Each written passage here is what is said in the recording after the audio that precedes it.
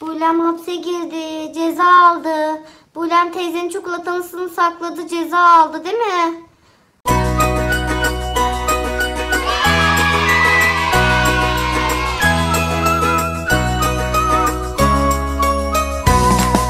Aa, o çikolata kimin?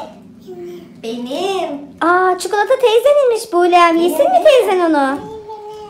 Aa, teyzeninmiş o, teyzeninmiş. Yiyeceğim ben bunu ama önce bir su içeyim geleyim mutfağa gideyim. Burada dursun bu. Ben bir mutfağa gidip geleyim tamam mı? Tamam teyzesi sen git. Çikolatasını burada bıraktı teyzem Bulem. Aa, aklıma bir fikir geldi. Teyzenin çikolatasını saklayabilirsin bence.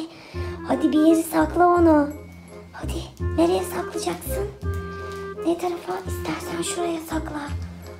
Evet oraya minderin altına sokabilirsin. Altına sok anneciğim.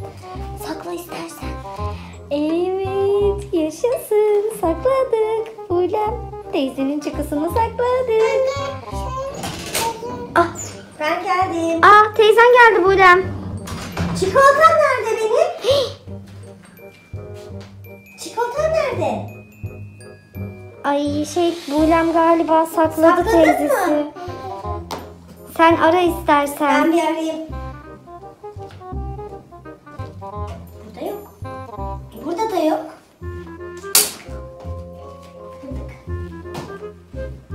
İşte burada.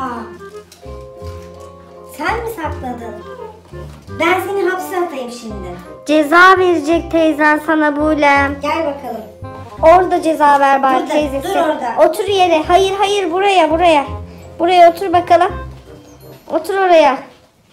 Otur otur. Oraya kadar gitme anneciğim Gir gel. bakalım. Hayır. Otur oraya Bulem. Otur oraya. Otur. Gel biraz öne gel şuraya. Bulem hapse girdi. Ceza aldı. Bulem teyzenin çikolatasını sakladı. Ceza aldı değil mi? Bulem. Teyzenin çikolatasını sen mi sakladın? Dur anneciğim. Bulem teyzesinin çikolatasını sakladı o yüzden ceza aldı. Teyzesi affet Bulem'i. Evet affedeyim artık ben. Evet cezasını Tamam. aldı. Aa yaşasın. Gel. Hadi bir yaşasın yap. Sen mi yiyeceksin? Teyzene sor yiyebilir misin?